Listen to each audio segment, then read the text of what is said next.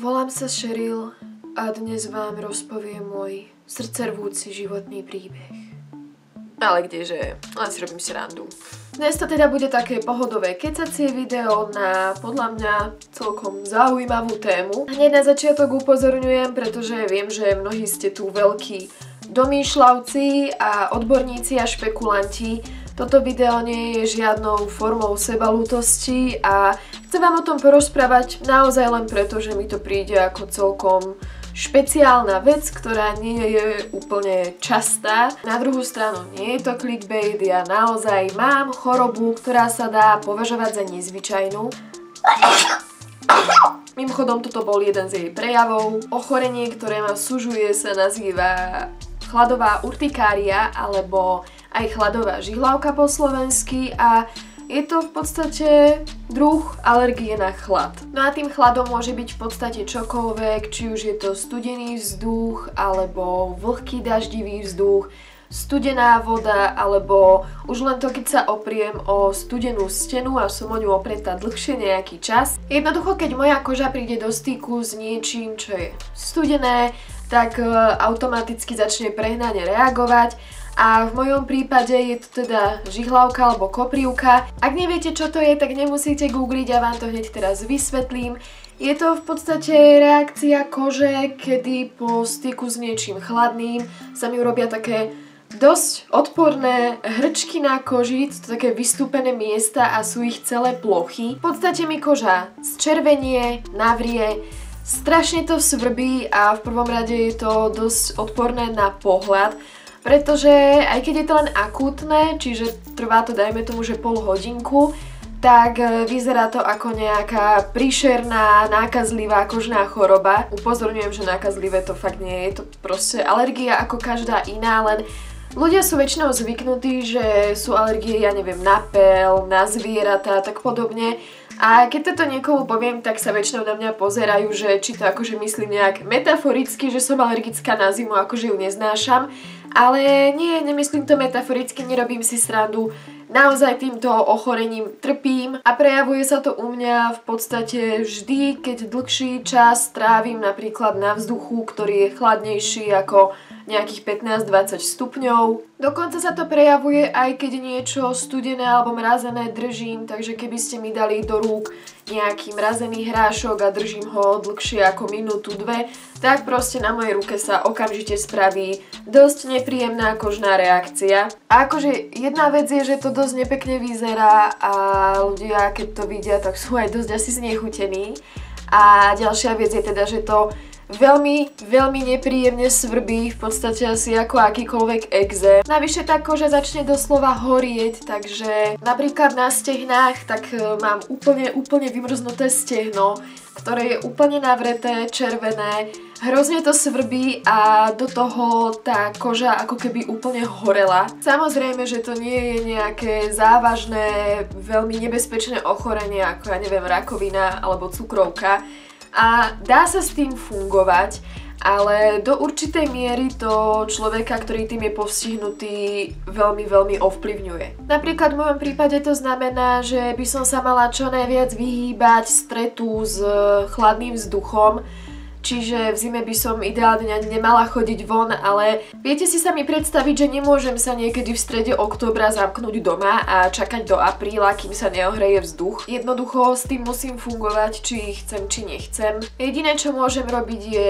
teplo sa obliekať, nosiť veľa vrstiev, nosiť rukavice, nosiť šál, nosiť čiapku. Problémom je, že na tvári samozrejme kuklu nosiť nebudem, takže moja tvár si to väčšinou odnáša úplne najhoršie, lebo predsa len je to taká časť tela, ktorú veľmi ťažko zakriete. Aj keď si dáte veľký šál a dobre sa s ním omotáte, tak stále vám trčí proste aspoň táto oblasť tváre a vravím, s kuklou to zatiaľ nechcem riešiť. Niekedy sa to prejavuje aj v tých teplejších jarných a letných mesiacoch. Stačí napríklad, že je taký vlhký, upršaný deň a pofúkuje Vánok. Niekedy dokonca stačí, že sa trochu spotím a ofúka ma vietor, ktorý vlastne ani nemusí byť studený ale jednoducho tá koža to tak vníma, že sa zrazu prudko ochladila a opäť to reaguje tou žihlavkou. Naviac aj keď sa nadýcham chladného vzduchu, napríklad keď v zime trošku pobehnem, utekám na autobus, tak aj takto vnútorne sa to prejavuje, pretože to telo je všeobecne precitlivé len na tie veľké zmeny teploty. Vtedy sa to prejavuje podobne ako astma a to tak, že začnem kašľať,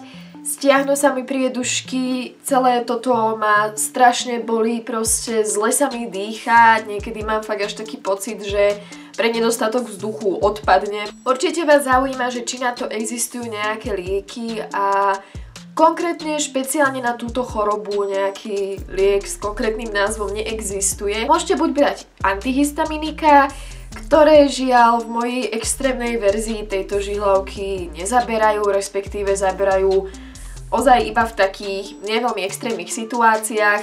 A potom ešte môžete priebežne brať kortikoidy, ktoré ja nechcem brať preto, pretože to sú strašne ťažké lieky a majú strašne veľa vedľajších účinkov. Tie účinky vám teraz neviem vymenovať z hlavy, ale ja som sa teda o to zaujímala tým, že ma to trápi. Chcela som vedieť, či existuje nejaké uh, lekárske riešenie na môj problém a to, čo som sa o týchto kortikoidoch dočítala, ma skôr odradilo, než že by ma to nadchlo, že wow, to je skvelé, to vyskúšam, tak presne opačne moja reakcia bola taká, že to si radšej dokúpim ďalšie rukavice a ďalšie šály a ďalšie svetre. Nie je to teda niečo, s čím by sa vyslovene nedalo žiť, alebo čo by mi spôsobovalo nejaké extrémne bolesti, ale tým, že je to dosť neestetické a otravné a musím sa tomu stále podriadovať, tak mi to istým spôsobom trochu znižuje kvalitu života. E, nechcem sa teda nejako lutovať, pretože uvedomujem si, že sú ľudia, ktorí majú rôzne genetické ochorenia alebo rôzne naozaj príšerné smrteľné choroby a táto moja je oproti tomu v podstate taká pičovinka, keď si to dáte do pomeru. No napriek tomu ma to dosť trápi a keby mi niekto povedal, že sa jedného dňa zobudím a nebudem mať tento problém, tak by som bola asi najšťastnejšia na svete. Okrem toho, ak ste si všimli, tak ja dosť často dýcham ústami a aj momentálne mám zapchatý nos, hoci som asi pred začiatkom točenia tohto videa som sa vysmrkala poriadne. Žiaľ, e, tá choroba spôsobuje aj to, že ako vlastne dýcham ten studený vzduch, tak poznáte to, ktorý máte alergiu, že keď prídete do kontaktu s niečím, čo vás takto alergicky dráždi, tak sa vám väčšinou pustí taký odporný vodičkový sopel a tento vodičkový sopel mám ja úplne permanentne. V podstate automaticky, keď prídem zvonku zo zimy domov do tepla, kde nejaká tá izbová teplota, neviem, 22-23 stupňov, dajme tomu, tak mám automaticky upchatý nos. Takže hneď ako prídem domov si asi tak 50 krát kýchnem, vysmrkám asi 10 vreckoviek a do toho mám chuť si vyškriabať kožu až po kosť. Momentálne jediným riešením, ktoré mi tak logicky pripadá do úvahy, je, že by som sa odsťahovala niekam, kde je celý rok teplo, ja milujem teplo, čo už asi, asi, asi vám to došlo, že prečo mám tak strašne rada a prečo mi tak strašne vadí zimné obdobie. Najradšej by som sa odsťahovala niekam do Austrálie alebo do takých teplých oblastí Ameriky. Ale samozrejme vieme, že to nie je také jednoduché a pochybujem, že ma tam dobrovoľne príjmu len kvôli nejakým môjim zdravotným dôvodom, ktoré v podstate nie sú ani tak strašne závažné. Okrem toho mám asi tisíc ďalších alergií, ale s tými som si nejak poradila, pretože na všetko som si zvykla. Zvykla som si na zvieratá, zvieraciu srst, zvykla som si na jarné pelové obdobia a proste na všetko ostatné si moje telo nejak dokázalo privyknúť a nereaguje až tak extrémne. Žiaľ, s tou zimou, neviem, asi sa tam nedá niečo takéto spraviť. No a dôsledkom toho všetkého je, že sa proste v zime nerada pohybujem po vonku, nerada vôbec opúšťam teplú izbu a dosť sa za to hambím. Akože jasné, že to nie je moja chyba, ale uvedomujem si, že to proste nie je pekné na pohľad a keď to niekto vidí prvýkrát a nemá absolútne tušenia, o čo sa jedná, tak je celkom logické, že je znechutený, preto fakt neznášam, keď ma niekto takto vidí a hej, proste sa za to istým spôsobom hambí. A tak samozrejme stále sú tu ľudia, ktorí nemajú nohu, alebo ruku, alebo proste nejaký fakt hrozný existenčný problém so svojím telom. A síce bolesť človeka je taký veľmi relatívny pojem, ale proste niekedy sú dní, keď mi to fakt strašne lezie na nervy a najradšej by som si nejak pozmenila DNA, keby to išlo. Ale inak som s tým v podstate podľa mňa celkom vysporiadaná a Teraz nečakám, že ma v komentároch budete nejak lutovať, to skutočne nie je môjim cieľom, ani to od vás neočakávam.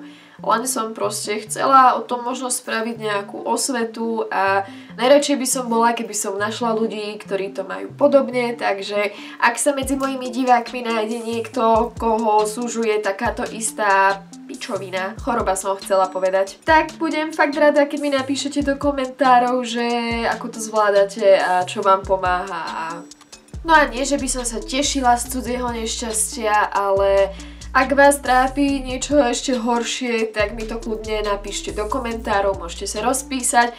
Ja si strašne rada čítam takéto veci, keď sa tam tak akože rozkecáte. Všeobecne mi ľudské telo príde také fascinujúce, takže si to veľmi, veľmi, veľmi rada prečítam a rada sa dozviem niečo nové. To bolo z mojej strany všetko, dúfam, že to video sa dalo prežiť. Vám, čo ste prišli až sem do konca, strašne pekne ďakujem a Vidíme sa niekedy na budúce pri nejakom ďalšom videu.